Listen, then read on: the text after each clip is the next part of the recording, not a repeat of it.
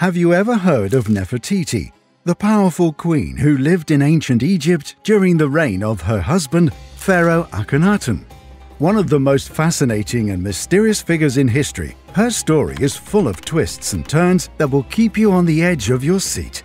Did Nefertiti play a significant role in shaping Akhenaten's religious reforms to maintain his grip on the throne and prevent an uprising? Was she part of a cult that revered the sun god Ra?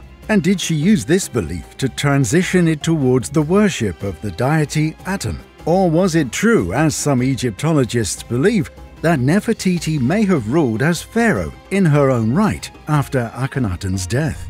Join us as we delve into the mystery and intrigue of Nefertiti's life and uncover the truth about this enigmatic queen. Her role in the religious revolution. In ancient Egypt, the 18th dynasty witnessed the rise of a remarkable pharaoh, Amenhotep IV, who later became known as Akhenaten. Alongside his wife, Nefertiti, Akhenaten launched a bold and unprecedented religious and cultural initiative that transformed the polytheistic faith of Egypt into a new monotheistic one, centered on the worship of the deity Aten.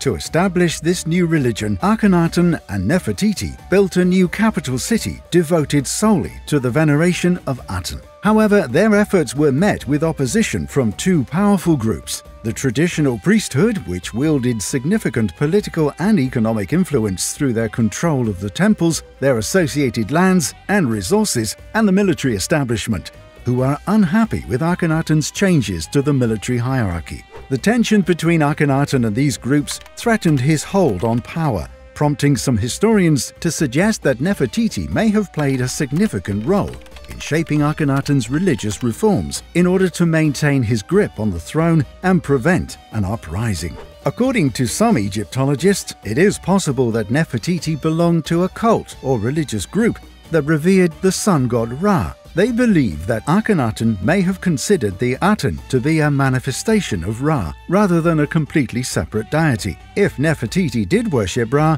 she could have used this belief to build on the existing cult of Ra and transition it towards the worship of the Aten.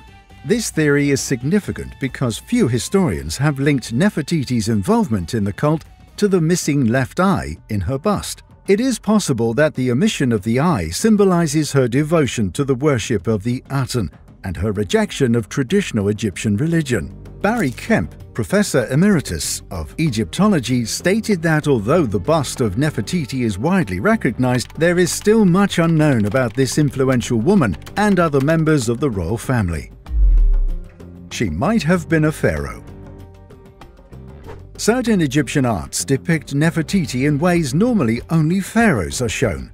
For instance, she can be seen smiting enemies, a portrayal reserved mostly for pharaohs only. One of the smiting scenes shows Nefertiti on a ship raising her right hand to end a female prisoner. It is possible that this art was symbolic, but that can't be said for certain. Additionally, she wore a type of helmet like crown that was typically reserved for pharaohs or the goddesses Tefnut or Hathor.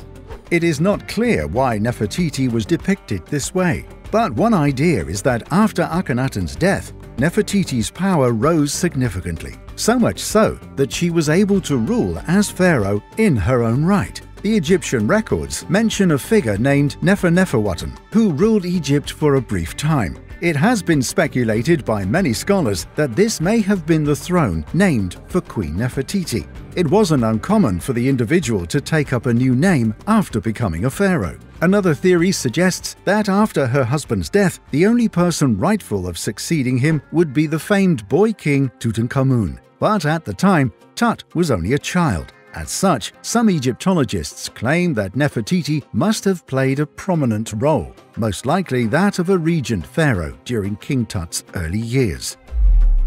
Nefer say Nefer Dr. Nicholas Reeves, an Egyptologist, made a discovery in 2015 that uncovered hidden chambers within the tomb of Tutankhamun, potentially containing the mummy of Nefertiti.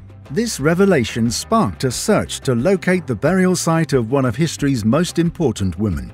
In the fifth year of Akhenaten's reign, he created a new city called the Horizon of the Aten.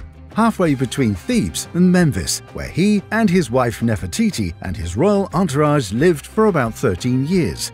Inscriptions from Akhenaten's regnal year 16 referred to Nefertiti as his great royal wife. However, after his 17th year of reign, it becomes difficult to track events due to fragmentary evidence. Despite the lack of documentation about her life, it is not surprising that Nefertiti was buried in the Valley of the Kings. She likely ruled as pharaoh or a regent after Akhenaten's death and may have guided Egypt to return to its traditional ways in an attempt to please the people.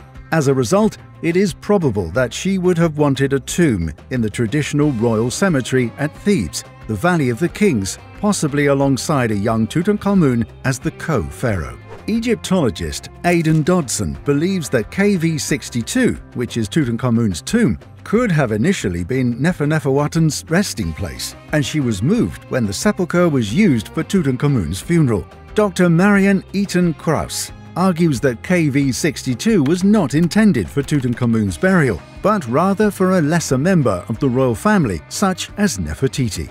This explanation clarifies the feminine aura of Tutankhamun's artifacts, paintings, and tomb. The faces on Tut's canopic jars, which were used to store organs removed from the mummy in the tomb, have very feminine features, Eaton Krauss believes that many of the items in Tut's tomb were originally the property of a queen who was beneficial for her husband, which was Nefertiti's typical title, referring to Akhenaten.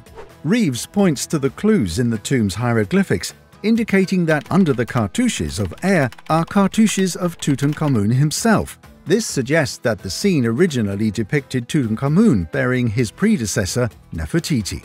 This revelation corresponds with other theories too that suggest Tutankhamun's tomb was too small for a pharaoh. The burial chamber was built to the right of the entrance, which would suggest a queen, and this was also mentioned in Egyptologist Chris Naunton when he told the Smithsonian magazine that one of the first things you notice when you enter the tomb, you come down the descending passageway and you need to take a turn right.